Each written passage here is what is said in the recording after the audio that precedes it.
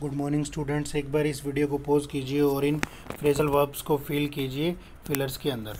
ठीक है तो जल्दी से एक बार इन फ्रेजल वर्ब्स को हम देखते हैं, क्या क्या थी, इनको एक बार देखते हैं। देखो when he heard about sudden demise of his father he was dash sorrow भाई, जब उसने अपने पिता की मृत्यु के बारे में सुना, एकदम से उसे इस खबर का पता लगा तो उसे दुख से कुछ हो गया।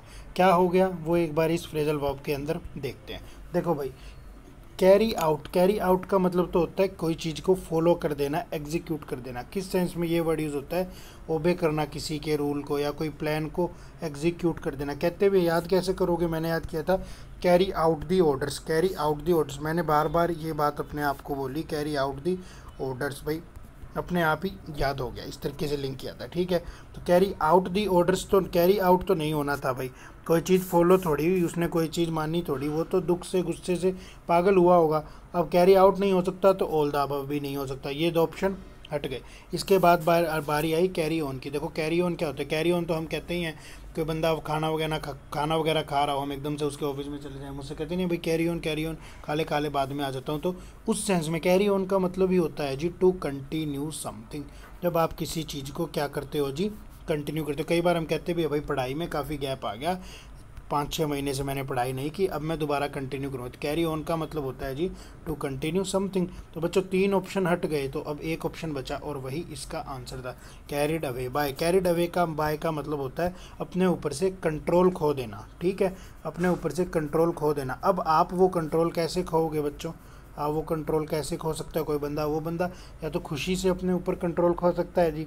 या फिर वो दुख से, गम से भी अपने ऊपर कंट्रोल खो सकता है। ठीक है? तो भाई इसका क्या मीनिंग था? इसका मीनिंग यही था कि उसने दुख से अपने ऊपर कंट्रोल खो दिया जब उसे अपने पिता के बारे में पता चला।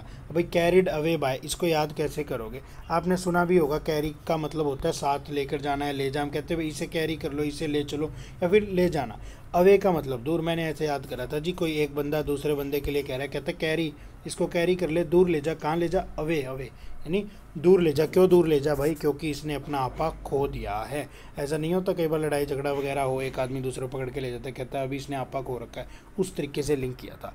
नेक्स्ट जो था बच्चों नेक्स्ट में क्या आना था? They should dash old stock in order to increase their sale भाई, उन्हें ना अपने ओल्ड स्टॉक को कुछ करना चाहिए, किस लिए? सेल को इंक्रीज करने के लिए। तो देखो कास्ट अवे कास्ट अवे तो बच्चों मतलब होता है किसी को अकेला छोड़ देना। आइसोलेट की सिचुएशन जो होती है ना, आइसोलेटेड सिचुएशन, उसके लिए कास्ट अवे का यूज़ होता है। आइसोलेटेड छोड़ दिया या फिर भाई किसी को आइसोलेटेड छोड़ते हैं या उसे एकदम अकेला फेंक दिया, किसी चीज़ को दूर कर दिया थ्रो अवे या फिर क्या आई? इसमें फ्रेजल वर्ब, क्या मीनिंग था इसका? थ्रो अवे यानी कास्ट अवे का मतलब होता है आइसोलेटेड कर दिया, या फिर थ्रो अवे कर दिया। याद करने की बारी आई तो कैसे याद रखोगे भाई? पुराने ज़माने में आपने भी सुना था कास्ट पूछ के डिस्क्रिमिनेशन करते थे, जो कि गलत चीज़ थी। तो मैंने इस तरीके से लिंक किया था कि कास्ट पूछ के उसे अवे कर दिया, यानी उसे अलग कर दिया थ्रो अवे कर दिया आइसोलेट कर दिया। इस तरीके से याद किया था जी। उसके अलावा होता है जी कास्ट डाउन कास्ट डाउन का मतलब होता है जी रिजेक्ट कर देना।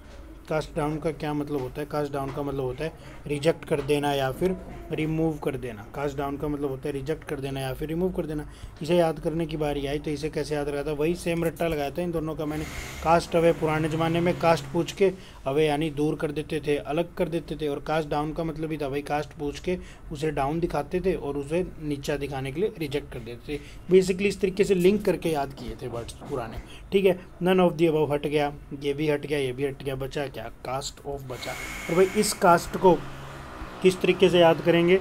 इस कास्ट को भी मैंने उसी कास्ट से लिंक कर लिया था मैंने याद कर लिया था ऑफ़ कहता है, भाई, एक आदमी के ऊपर कई सारे मुकदमे थे। तो फिर एक पुलिस वाले ने क्या किया? उसकी कास्ट पूछ के सारे मुकदमे ऑफ़ कर दिए। क्यों कर दिए? हो सकता है, भाई सेम कास्ट का उसे फेवर देनी हो। सिर्फ़ बेसिकली याद करने के लिए बताया। कास्ट ऑफ़ का मतलब क्या होता है? कास्ट ऑफ़ का मतलब ही होता है, जी रिमूव या फिर रिलीज़ कर दिया। उसे रिलीज़ कर दिया।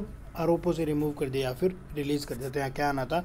They should cast off old stock in order to increase their sale यही थी फ्रेजल वर्ब्स ठीक है?